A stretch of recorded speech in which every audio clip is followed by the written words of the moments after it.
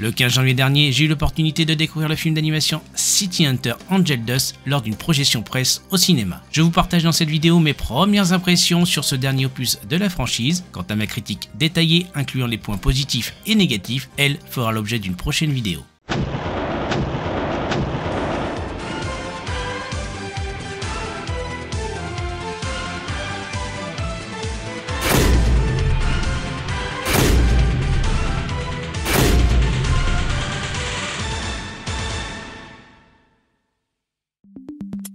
Pour commencer, le film City Hunter Angel Dust surpasse clairement, à mon avis, le précédent Shinjuku Private Eyes, bien que j'ai apprécié ce film. Cette fois, le staff de production a haussé le niveau. Le duo City Hunter est de retour sur grand écran 5 ans après City Hunter Shinjuku Private Eyes et je vais vous le détailler en 3 points.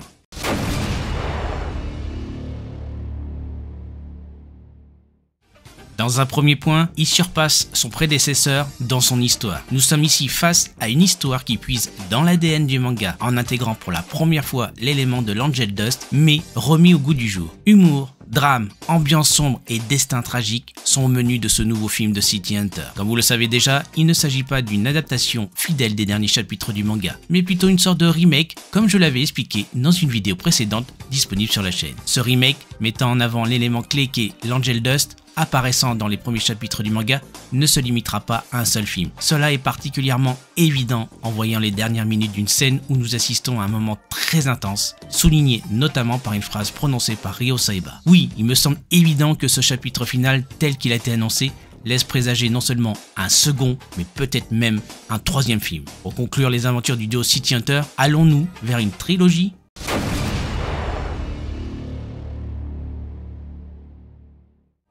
Deuxième point, les personnages de City Hunter Angel Dust apportent tous quelque chose au film.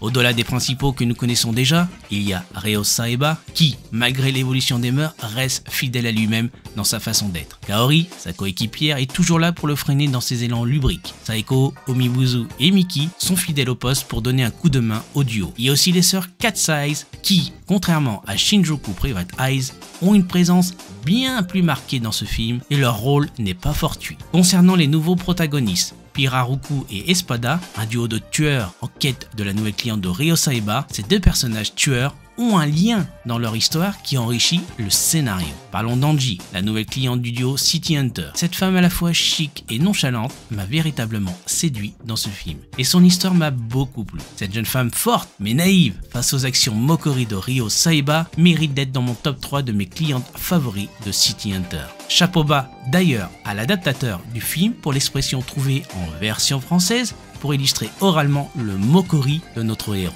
Pour terminer, Shinkai Bara, le père adoptif de Ryo Saeba, je résumerai sa présence dans le film en quelques mots. Un gentleman calme et posé, mais d'un mutisme abominable.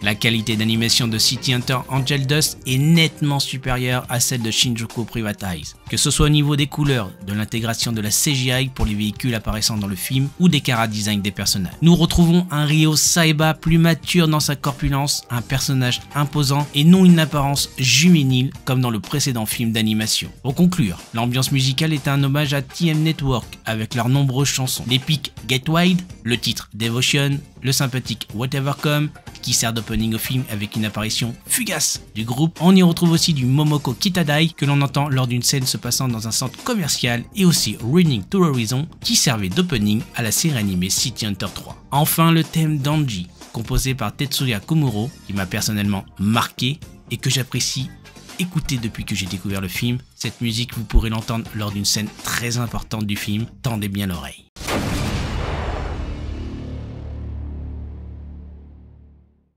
Pour conclure cette vidéo sur mes impressions du film, et cela n'engage que moi, je suis conquis par sa narration, sa qualité d'animation et son histoire. Je vous invite fortement à vous faire votre propre avis en espérant que certains points que j'ai détaillés dans cette vidéo vous permettront de ressentir les mêmes impressions. Pour une critique plus approfondie du film, je partagerai prochainement sur la chaîne une vidéo, mais ça après la sortie nationale du film qui, je vous rappelle, sera le 24 janvier. Merci les hunters d'avoir regardé cette vidéo. N'hésitez pas à me laisser un commentaire pour me faire part de vos retours sur mes impressions. Un pouce vers le haut serait moqueriquement apprécié car cela contribue à augmenter la visibilité de la vidéo sur YouTube. Je vous encourage également à la partager. Si vous découvrez ma chaîne grâce à cette vidéo, n'hésitez pas à vous abonner et à activer la cloche pour être informé des prochaines vidéos sur l'univers de City Hunter et de son créateur Tsukasa Ojo. A bientôt les hunters